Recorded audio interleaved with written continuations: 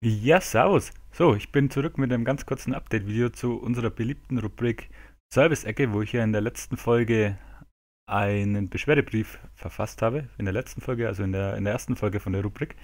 Und das äh, Erwartete ist tatsächlich eingetreten. Es ist zwar jetzt zwei Wochen her, dass ich den Beschwerdebrief geschrieben habe, aber die Firma Cosmos hat sich tatsächlich dann hier darauf gemeldet.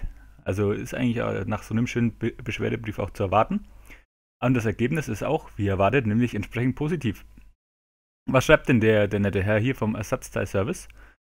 Sehr geehrter Herr, bitte entschuldigen Sie die verspätete, bitte entschuldigen Sie die verspätete Bearbeitung. Ja, ich habe auch früher mal so ein, oder vor einer Woche schon irgendwie so, ein, so eine Eingangsbestätigung bekommen und da haben sie auch gesagt, ja, sie haben viel zu tun wegen Weihnachten und keine Ahnung. Und ja, dann, dann ist es halt so, dann hat es halt ein bisschen gedauert, aber vielleicht mussten sie die Triops-Eier auch erst neu züchten oder neue Triops-Eier produzieren lassen. Keine Ahnung. Und ja, es tut uns natürlich sehr leid, dass sie mit ihrer Triops-Zucht keinen Erfolg gehabt haben.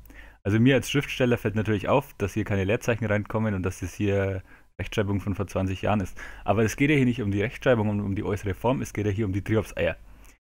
Und was, was mir dann wieder sehr gut gefällt, er schreibt hier, wir können ihre Enttäuschung gut verstehen. Also ich finde es gut, dass da nicht irgendwelche Sachbearbeiter einfach sitzen, sondern einfach wirklich Psychologen, die auch die Leute reinschauen können und die ähm, wirklich verstehen, was das für ein Desaster bei den Kunden anrichten kann, wenn einfach die Triops-Eier nicht funktionieren. Also die haben auf jeden Fall geschultes Personal da, die Firma Cosmos, das finde ich gut von denen. Also echt top. Dann sagen sie, gerne lassen wir Ihnen für einen neuen Zuchtversuch nochmals zwei Döschen Triops-Eier und, und Tipps kostenlos zukommen. Ja, also vielleicht so, also nicht nur Chips-Eier, sogar nicht nur eine Dose, sondern zwei. Und noch Tipps.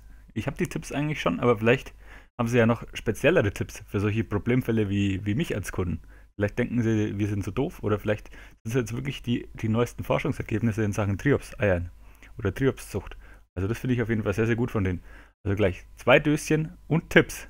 Und kostenlos. Das ist natürlich super.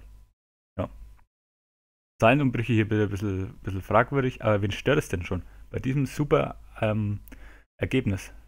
Ja. Und dann hier, das ist glaube ich der erste Tipp vom Meister.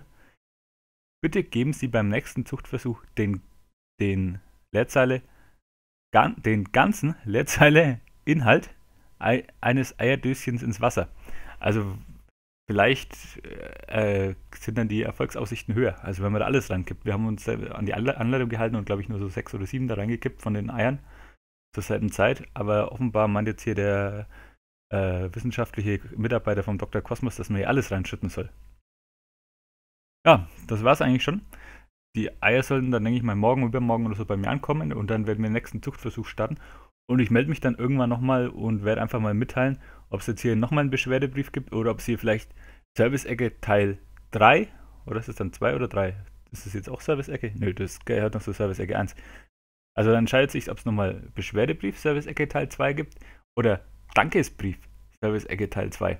Also das wird auf jeden Fall fortgeführt, die Reihe, nach dem riesigen Erfolg. Ich sage danke fürs Zuschauen. Drückt mal die Daumen, dass das jetzt hier was wird. Und dann bis zum nächsten Mal. Ciao.